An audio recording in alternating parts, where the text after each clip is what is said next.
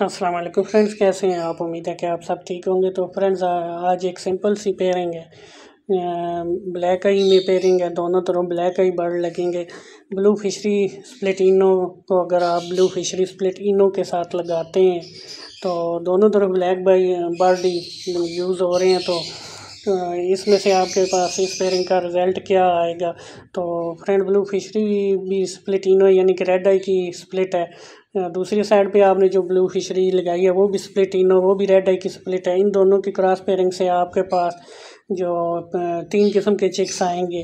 اس میں پہلے نمبر پہ آپ کے پاس بلو فشری سپلٹینو یعنی کہ بلیک آئی فشری آئے گی لیکن وہ ریڈ آئی کی سپلٹ ہوگی دوسرے نمبر پہ آپ کے پاس ویژولی البائنو ریڈ آئی آ جائے گا تو اس کے بعد تیسرے نمبر پہ آپ کے پاس البائنو بلیک آئی دیکھنے میں جو بلیک آئی نظر آ رہا ہوگا وہ سپلٹینو بھی ہوگا یعنی کہ ریڈ آئی کا سپلٹ ہوگا تو اس پیئرنگ سے آپ کے پاس تین قسم کے یہ چکس آئیں گے تو فرینڈز، آج کے لیے یہ چھوٹی سی ویڈیو تھی۔ امید ہے کہ ویڈیو پسند آئی ہوگی۔ اگر ویڈیو پسند آئی ہو تو پلیز ویڈیو کو لائک کر دیں اور چینل کو بھی سبسکرائب کر دیں۔